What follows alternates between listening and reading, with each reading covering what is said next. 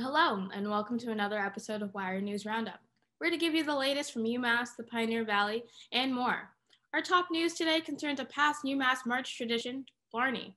Here's Ethan with information from the UMass Police Department and how they supposedly handled the situation. Ethan? Thank you, Bree. One of UMass's greatest traditions of Blarney has striked again this first week in March, even with COVID 19 social distancing guidelines. This St. Patrick's Day event often entails day parties, university sponsored celebrity concerts, and night crawls at local bars. However, this year, plenty of changes were involved, including upscale pushback from the university's police. Ed Blaguszewski, the university's communications director, has stated that the university will monitor Blarney as needed, with increased number of campus police officers already working with campus and town to ensure peaceful environment. Concerning students, Blaguszewski states, students should limit outdoor gatherings to their household members only and follow public health protocols. However, students on campus are not seeing as many UMPD officers as they thought they would have this past weekend. Now passing it to Shannon for a recap of the Golden Globes. Shannon? The Golden Globes premiered on Sunday, February 28th, and although they had in person events in Los Angeles and New York, the majority of celebrities attended the show virtually from their homes. Starting off in the movie categories, the award for Best Motion Picture Drama went to Nomadland, the award for Best Motion Picture Musical or Comedy went to Borat Subsequent Movie Film, and the award for Best Motion Picture and Animated category went to Disney's film Soul. There were several historic wins this year, such as Chloe Zhao winning the award for Best Director. She is the first person of Asian descent and only the second woman to win this award. Andra Day won for Best Actress for her performance in The United States vs. Billie Holiday and was the first black woman to do so since 1986. The Crown and Schitt's Creek dominated in the ca- television categories. The Crown won the Best Television Series Drama, and actors Emma Corrin, Josh O'Connor, and Gillian Anderson won for their performances in the show.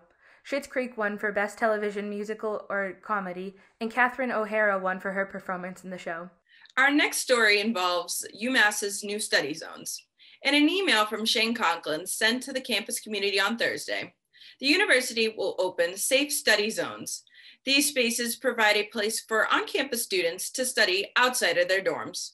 According to the graphic linked in the email, buildings like the Integrated Sciences Building, the Integrated Learning Center, South College, and the Student Union are some of the many buildings open for studying. The university designated certain floors and lobbies of the buildings to be study spaces. Students must also adhere to the occupancy limit set within these zones. The university asked students to socially distance and wear masks while in the safe study zones. To see a complete list of the study spaces, head on over to our website at amherstwire.com. Tossing it to Bree for this week's upcoming weather. And from what and from what I hear, is it good stuff, Bree? Hey, thanks, Nicole. First, I'd like to say Happy Women's History Month. Our team is excited to celebrate all women identifying persons as you continue to watch our show. Now let's hear a little bit more about spring possibly coming early for the valley.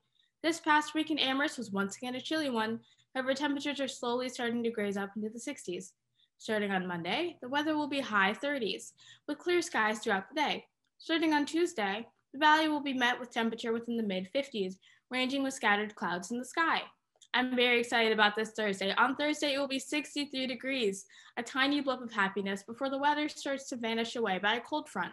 Ending our week off with 36 degrees on Sunday, with possible snow for the week, for the week after tossing it back to Ethan for our final moments. Ethan?